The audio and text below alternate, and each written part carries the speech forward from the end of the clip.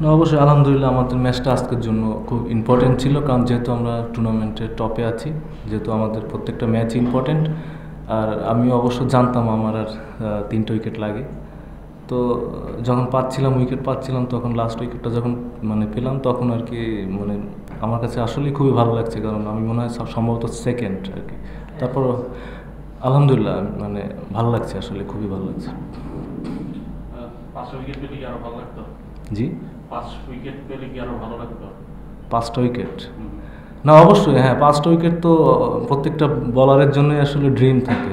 ব্যাটসম্যানদের জন্য যেমন একশো রান ড্রিম থাকে আমাদের জন্য পাঁচটা উইকেট খুবই সবার জন্যই ড্রিম থাকে। তো অবশ্যই আমি চেষ্টা করেছিলাম তারপরও হয়নি আনলাকি আসলে কিছু করার নেই।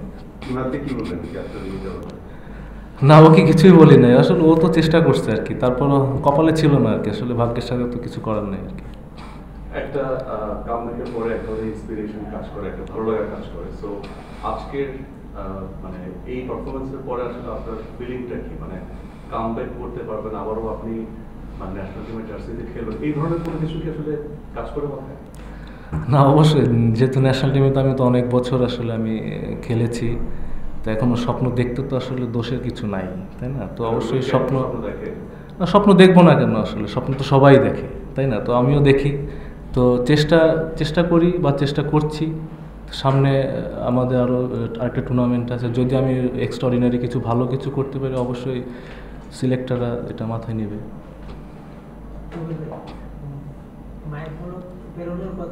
আপনার সাতানব্বই আটানব্বই যখন হয় একটা সময় একসঙ্গে এই ব্যাপারটা মানে কেমন লাগছে বা এখনও একসঙ্গে খেলছেন? না ভালো লাগছে আসলে ভালো লাগে। তো মাসাই ভাই তো যেহেতু অনেক দিন ধরে এখন মনে হয় ন্যাশনাল টিমে খেলছে না তো অবশ্যই ভালো লাগে। সে তো যেহেতু সে বাংলাদেশের মোস্ট সাকসেসফুল ক্যাপ্টেন তো এটাই আর কি ভালো লাগে। আসলে মানে মাসের একটা ইনজুরি আপডেট যদি ইনজুরি আমার ওই গ্রোইন স্ট্রেন হয়েছে ডিটেলস আরও জানতে পারব। আমি গ্রুপে দিয়ে দিই। যেটা বলছিলাম একটু আগে যে বেশ কয়েকটা ম্যাচ আপনি ওয়েট করতে হচ্ছে। আপনার টিমে রাজা খেলছে আহ, সাকিব খেলছে ইয়াং পেসার।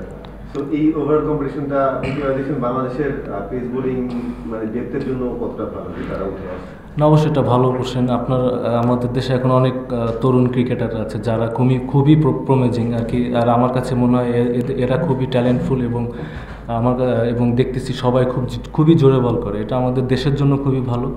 এবং আমি বিশ্বাস করি যে তারা ন্যাশনাল টিমে খুবই লং টাইম সার্ভিস করবে আর কি।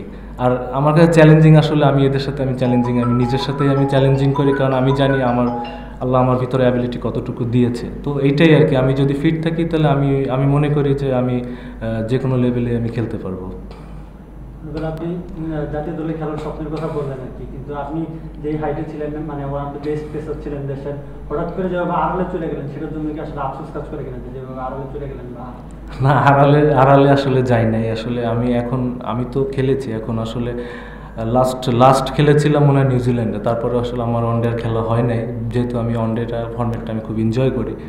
তো এইটাই আর কি আর আসলে এটা আমার হাতে নাই আসলে মেনলি ঠিক আছে? আমার কাজ হচ্ছে পারফর্ম করা আর মেইনলি এখানে সিলেক্টররা আছে ক্যাপ্টেন আছে অনেকেই আছে। তো তারা যে ডিসিশন নিয়ে তারাই মানে সম্পূর্ণ তাদের উপরেই আর কি। আমার আমাদের কাজ হচ্ছে মানে ভালো খেলা এটাই।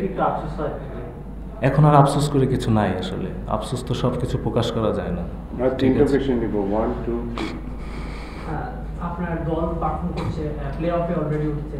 তো এনভায়রনমেন্টটা ড্রেসিং রুম এনভায়রনমেন্টটা অনেক ভালো আসে না, অবশ্য আমাদের ড্রেসিং রুমের এনভায়রনমেন্ট আসলে খুবই ভালো, কারণ আমরা যে টুর্নামেন্টে রেসে আছি টপে আছি, সবার ভিতরে একটা কনফিডেন্স কাজ করছে এবং সবাই খুবই উৎফুল্ল আর কি, বলতে পারেন এবং মানে ক্ষুধা আছে সবার ভিতরে, ভালো খেলার। এবং আমাদের টিমে ইয়াং প্লেয়ারও আছে, যারা পারফর্ম করতেছে ম্যাক্সিমাম প্লেয়াররা ইয়াং ভালো খেলছে ব্যাটসম্যানরা বিশেষ করে। বলাররাও আছে রাজা তারপরে এটাও ভালো খেলছে একটা ম্যাচ হয়তো একটু খারাপ খেলছে। বাট তারপরও সবাই ভালো খেলছে তো আমার কাছে মনে হয় এই টিম স্পিডটা থাকলে ভালো কিছু হবে টুর্নামেন্টে ক্রাউড সিলেটে তো সবসময় মানে ক্রাউড অনেক বেশি থাকে আর কি। তো এবার আরও বিশেষ করে আমাদের আমাদের টিমটা আবার খুব খুবই ভালো খেলছে যে কারণে আমার কাছে মনে হয় আমাদের টিমের সাপোর্টার আরও বেশি বেড়ে গিয়েছে। তো এটা মানে আমাদের টিমের কাছে সবার কাছেই খুবই ভালো লাগছে। রুবেল ভাই আপনি যখন batting তখন আমি কিছু সময় দর্শক গ্যালারিতে ছিলাম। তো আপনি যখন উইকেট পাচ্ছিলেন দর্শকরা হ্যাপি হ্যাপি বলে চিৎকার রাইট ডিস্টার্ব করছিল না না। না এটা এটা এটা বাদ নেক্সট কোয়েশ্চেন রুবেল ভাই এক সময় আপনি বা দেশের সবচেয়ে জোরে বল করতে পারতেন। এখন অলমোস্ট সবাই একশো চল্লিশের উপর বল করছে স্পিড মিটারের বাইরে কাছে সো একশো পঞ্চাশ আর কত দূর মনে করেন? আর বাংলাদেশি এই গতির একটা রেগুলেশন কিনা না, এটা ভালো। আমি জানি না আসলে এই- মিটারটা মানে মানে টোটালি ঠিক আছে কিনা। বাট তারপরও মানে সবাই যখন দেখে, একটা নতুন পেস বলার যখন দেখে, তার bowling speed one forty five তার ভিতরে কিন্তু অনেক ভালো লাগা কাজ করে। মানে আরও কীভাবে আরও স্পিড বাড়ানো যায় মানে নিজের ভিতরে আরও কনফিডেন্স আমার কাছে মনে হয় মানে খুবই ভালো লাগবে তাদের কাছে। তো আর হয়তোবা আর কি বলব, এটাই আর কি। থ্যাংক ইউ ঠিক আছে আচ্ছা আচ্ছা you. এই এই এই- এই ভাইটা একটু করে দেন নাহলে আমরা নিয়ে প্রতিবাদ অবশ্যই মানে ন্যাশনাল লিগ দীর্ঘদিন সার্ভিস দিচ্ছেন যেটা থেকে তো দীর্ঘদিন সার্ভিস দিচ্ছেন খুব বিগ বলার আপনি অনেকে অনেক সময় বোলিং করতে চান আপনি কয়েকটা ওভার করেও দেন।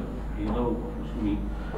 আপনি আপনার ক্যারিয়ারটা কতদিন দেখতেছেন? মানে হাউ লং না আমি তো খেলব আলহামদুলিল্লাহ। আমার আমি যতদিন সুস্থ থাকব আমি খেলব। বাট একটা সময় আমি যখন দেখব না তখন আমি নিজেই ছেড়ে দিব। ঠিক আছে বাট আমি আমার কাছে মনে হচ্ছে যে আমি এখন আলহামদুলিল্লাহ সম্পূর্ণ ঠিক আছি ঠিক. Thank you